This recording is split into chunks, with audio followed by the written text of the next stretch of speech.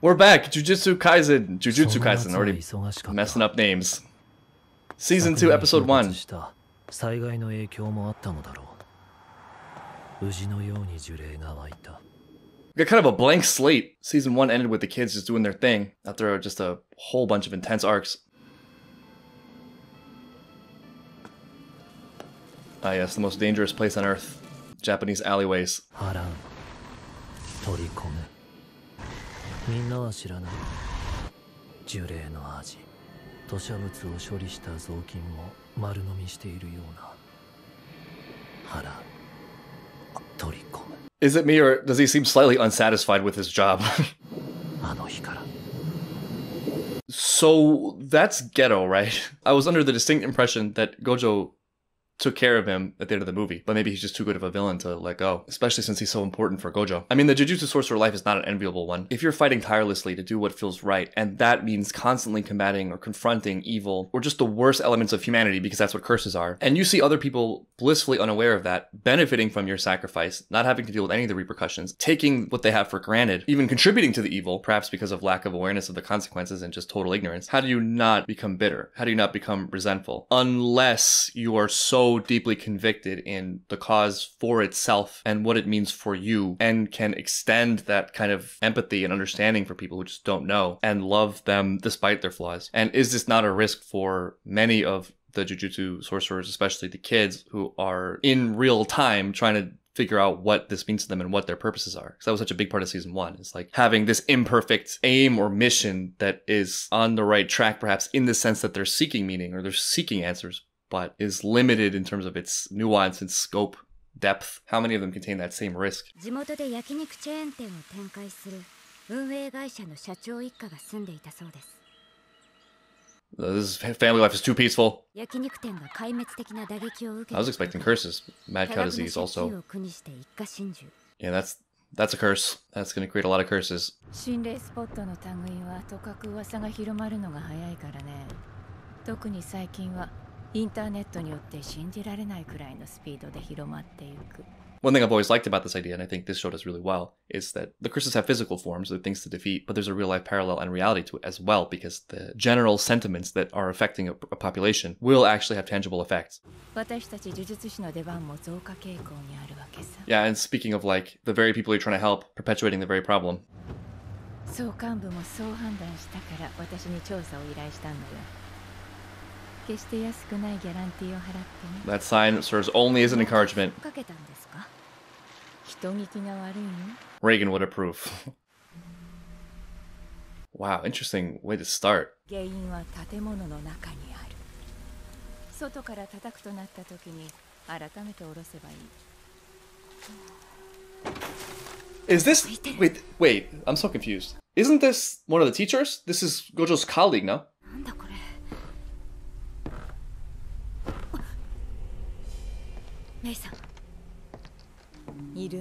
Oh, and this is uh wait, this is Money Girl. Is this a flashback? That overcharging line makes extra sense. So these are Gojo's peers, no? Do we get to see young Gojo? So maybe Geto actually is dead. And this is just like upper rank sorcerers, the high school years.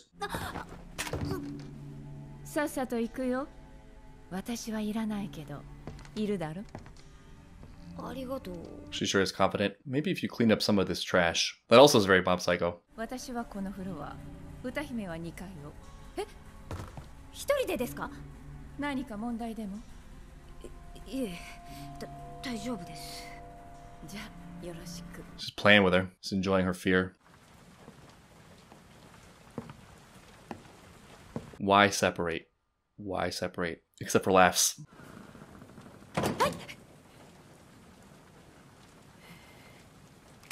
I feel like that mirror would have scared the crap out of me. Yeah, if you yell when you open a door, it protects you. That's the jutsu. That is the most uncanny thing so far. Why are the clothes so neatly laid out in this house of trash?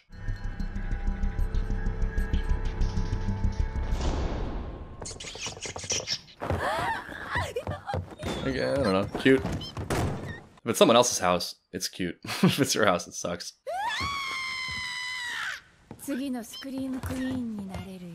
Giving her exactly what she wants.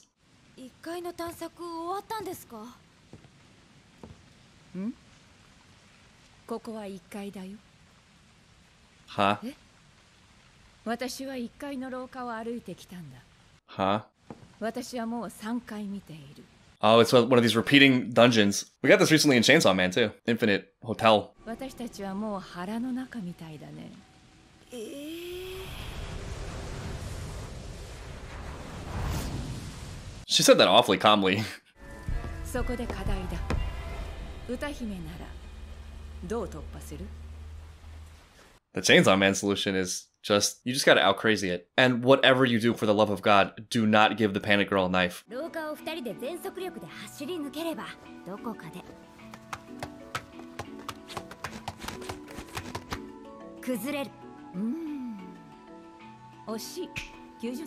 She's already figured out. Damn, she's still kind so condescending.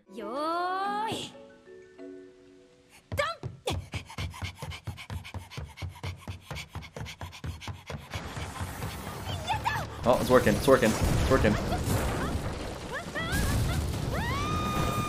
Did the other girl even run? Whoa, look who it is. Young Gojo and new opening. In the past, the, these openings have been so good. Hidden in inventory, premature death. Why does so much of this look like prequel? Are we just like taking a break from the crew, from Yuji and Megumi and Nobara? Huh. Very interesting. That split screen between Gojo and Geto. Oh, it looks like they're having so much fun back when things were good. What about uh the kid? What's his name from Jujutsu Kaisen Zero? Ooh, Gojo's happy days. He's like extra smiley. This is a really interesting choice to go backwards at this point. But I'm super pumped to see Gojo's high school years. this explains a lot of their their little conflict, their dynamic in season one. Oh, interesting. Very interesting knowing what we know. どこにいんだよ心配したんですよ2日も連絡なかったから Wait, wait, wait, wait, wait, wait. Shoko, wait, Shoko, Shoko. Oh boy. Here we go. Damn, I know her, but I can't remember how I know her. ということは実動2日というわけだ Double その pay. 分のギャランティーを上乗せしてもらわないといけないなと They'll find a way not to pay you though. そして帳を忘れた名乗り出ろ先生犯人探しはやめませんかサトルだな I feel like Gojo is one of those nightmare students that you love anyway. 目に見えない脅威は極力秘匿しなければならないのさそれだけじゃない分かった分かった I want to see this full basketball game. I was 100% expecting to dunk that. Some kind of infinite dunk.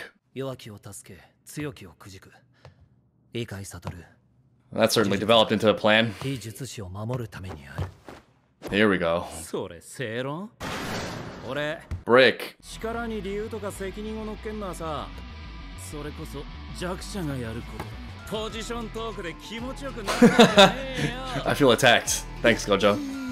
That's not gonna stop me from spouting some BS right now. I'm not sure I totally comprehend that interaction, and I may be either misinterpreting or misremembering Geto, but it does connect with me how just this kind of talking at all is a pitfall and, and setup for his later disregard for human life, just because of the fact that he's placing kind of a, a judgment on those they're helping. There's a very clear rift. It's like we, the Jujutsu sorcerers, are doing all this work to protect this weaker class. I mean, there is a reality to that. They are making tremendous sacrifices for people who don't know or understand curses and are also causing curses, but there's also a huge arrogance in that. And it's easy to imagine from there, you make the leap that because I'm in this position, because I have more understanding and more knowledge, and because of my sacrifices, I therefore have a right to decide the value of each of these ranks and human life within. This is very sinister, but I can imagine that a lot of times people who have a power or whose stated aim is to help guide a certain group of people or a population, on some level carry a resentment or a value judgment on the very people that they're assigned to help. There's this prevalent idea you see in media because it represents a facet of actual life where it's like, I know what's best for them or I know what's best for you. To read into Gojo's point a little bit, or at least just his dismissiveness of this whole thing, this idea of the strong rule over the weak, while it may contain an element of truth, can be a dangerous way of thinking if it leads to any kind of arrogance or undeserved grandeur, as well as the trap of making oneself and one's personal views the locus of a moral system from which action is generated. 逃げろ 外で話そうか悟り寂しんぼか And you can tell Gojo is so above it. Whereas Geto is really attached to his ideology. いつまで遊んでる But they're both 証拠はどうした afraid of the principal. She wisely left. 正直荷が重いと思うが天元様のご指名だ Imagine something being too big for Gojo. Although I guess this is kind of a prequel. 天元様との適合者その少女の護衛と抹消だ Erase her. This is a hit? I see Jujutsu Kaisen management has not changed. 手以上の老化を終えると術式が肉体を作り変えようとするうん進化人でなくなりより高次の存在となる That's a really じ cool ゃあ curse. いいじゃんかっこいい Right? それら全てが天元様によって強度を底上げしている so あ their の方の support 力添えがない structure と falls セキュリテ apart. ィや任務の消化すらままならない Man, this Jujutsu society, it always feels so hung together by a thread. So scattered. 天元様と適合する人間と同化し肉体の情報を書き換える肉体が一新される Don't mind me just gonna borrow your body. Ooh, this is a really interesting conundrum. 天元様と聖書体の同化は2日後の満月それまで少女を護衛し天元様の元まで送り届ける Oh, の we're だ prote- I thought you said erase her. 失敗すればその影 That 響は gave the wrong 一般社会 impression. にまで及ぶ Nowhere in the consideration is the girl's choice or autonomy so far. But given that they made her sexy and did that bath shot, I suspect she'll be around a little longer. でもさ自組織集団 Q はわかるけど万世教の方はなんでガキンチョ殺したいわけ崇拝しているのは Yeah, maybe they 純 want 粋な Tengen 天元 to 様 evolve. Kind of curious what that would mean. 万世教は非術師の集団だ特段気にする必要はない Yet they know about Tengen. 前から言おうと思っていたんだが一人称俺はやめた方がいい uh huh. I mean, he can back it up. Gojo just does not give a crap because he doesn't have to. No. There you go. Gojo is being Gojo. Always. That's why I love him. Hi. Huh? Okay. Oh. Can you get there? Q combated Cocoon.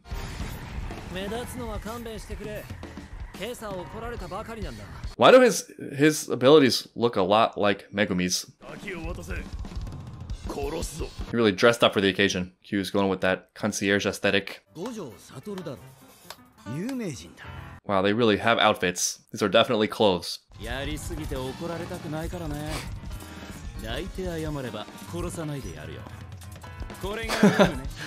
Uh, the confidence. Love it. But he backs it up. It's legit. Oh, this Zenin clan we've heard so much about. Oh, what? That's... Isn't that Megumi? Megumi's name? Man, this is really playing on my weaknesses. Hit me with all these names. Yeah, that's his last name, and they call him Guru. Huh? Does this explain some of some of Gojo's interest in, in him? You can tell he's keenly watching him. Episode twenty five, hidden inventory. That's a really interesting start to season two that I did not expect at all. Flashing back to the past.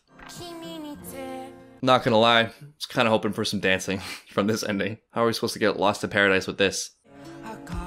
Hope we get more basketball. I would legit watch a whole episode, Geto and, Go- and Gojo playing basketball together. Just some cursed bros playing hoops. We got a baseball episode, why not?